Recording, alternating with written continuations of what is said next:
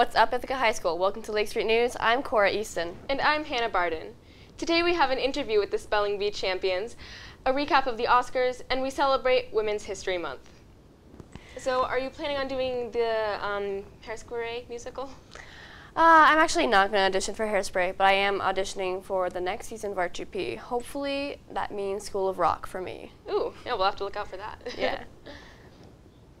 the Spelling Bee was last Sunday, and our very own Hannah Barnes' mom and other champions were victorious. Now, Hannah is going to interview these champions about her, their Spelling Bee victory. Um, so I want to thank you both for coming in today. This is um, very nice. So we have um, Miss Racus and Miss Barden. Um, it's Rakusin. Rakusin. you can call me Esther. Okay, well, yeah, okay, we have um, Esther and um, my mother, um, Karen Barden. And you also have a son in high school, right? Yes, he's uh, in 12th grade. Oh, cool. Marty Alani. Right, I think I know him. Um, and then we had a third team member, Betta Fisher York. right, she was not able to come today, unfortunately. And her son is also a senior, Paul Fisher York. Yeah. Okay, so um, I'm going to ask you a little bit about the event. Um, how did you guys come together as a team? Well, um, I've been um, on the team for Ithaca High School PTA for the last three years.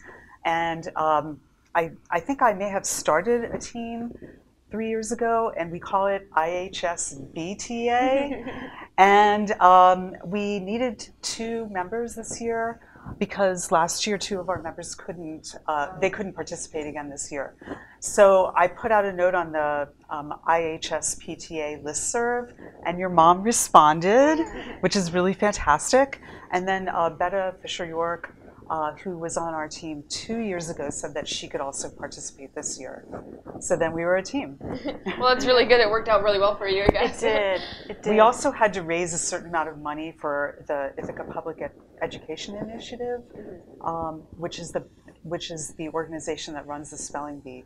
And um, luckily, we had two anonymous donors who were extremely generous who helped us raise the money for the event. That's really nice. it was. What did you do to prepare for the event? Did you do any like studying? Or? We studied. so um, I probably studied about an hour, half an hour to an hour a day for a few days before the event. Um, I was especially focusing on words that I wasn't uh, wouldn't use normally, such as words from the Dutch origin. I think you did too. Yeah, um, I found out about a website called Merriam-Webster Spell It, which has spelling the words on it from a lot of different languages. And some of these words are ones you've never heard of ever in your life. that sounds helpful. And helpful. they're very bizarre. They are I'm not even sure if they could be incorporated into a sentence very easily. not easily. like waterzooi, which is a fish stew. what do you think is one of the hardest words that you had to spell? eidetic. We spelled it starting with an I, but it actually starts with an E-I, E-I-D-E-T-I-C. I'll get it right next time. I think the really hard words are ones where you hear a sound and you think that there's a certain letter in the word. So there was another one called Rudebeck, or was it Rudebach? Rudebach. Rudebach. So there could be a T in the middle of the word, but it was actually a D. Yes. So those That's are the tricky. really hard words. Mm-hmm. And um, do you think that you would be doing it again next year? Or I would like to.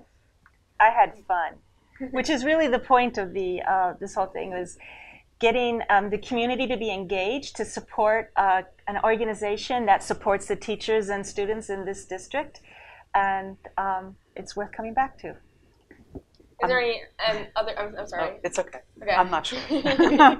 Are there any other things you think would be important to mention about the event, or you think we got it pretty well covered? Yeah, I mean, there were 27 teams in the event, and it involves a lot of community members. So um, yeah. there are a lot of groups in the community and businesses that support the Spelling Bee because they want to support the Ithaca Public Education Initiative, the IPEI. Um, so it's a great community event. That sounds like really great. Spread the word. okay, well, thank you very much. Thanks for having us. The Oscars were last Sunday, and with their recap of the event, we go to JT. Last Sunday, the 90th Academy Awards took place at the Dolby Theater in LA, where the show was broadcasted live on ABC and once again hosted by talk show host Jimmy Kimmel. Viola Davis presented the first award for Best Supporting Actor, which was given to Sam Rockwell for his performance in Three Billboards Outside Ebbing, Missouri. All the Oscar nominated songs were also performed during the ceremony, including the anthem This Is Me from The Greatest Showman, Mystery of Love from Call Me By Your Name, and Remember Me from Disney's Coco. As for the fierce competition for the top awards, Jennifer Lawrence and Jodie Foster presented the nominees for Best Leading Actress, to which Frances McDormand was called to the stage. The three billboards outside Ebbing, Missouri star, who also won an Oscar for her role in the 1996 film Fargo, beat out Saoirse Ronan, Margot Robbie, and even Meryl Streep for her empowering performance. Gary Oldman also won Best Leading Actor for his portrayal of former British Prime Minister Winston Churchill, beating out the oldest nominee, 80-year-old actor Christopher Plummer. And finally, the award for Best Picture. Addressing the infamous Oscar mistake that, made, uh, that was made at the very end of last year's show, Jimmy Kimmel once again introduced Faye Dunaway and Warren Beatty to announce the winner for Best Picture with the nominations including the audience favorite Get Out, the coming-of-age drama Lady Bird, and the war film Dunkirk, Guillermo del Toro's The Shape of Water ultimately won the Oscar, which earlier won Toro the Oscar for Best Director as well. In conclusion, the 2018 Oscars were full of laughs, touching speeches, and above all, a sense of positivity. Thanks, JT. March is Women's History Month, and in honor of the month, um, we celebrate the career of Pauline Frederick. She started working in a radio during the 1930s. She soon moved over to ABC Radio, where she was required to talk about stories like how to get a husband. She strived to work serious news stories and finally got to focus on the newly established United Nations. She was finally hired because of her work on ABC, thus becoming the first female correspondent to work full time on a TV network. In 1976, she became the first woman to moderate a presidential debate. That's all for this week, IHS. See you next week. You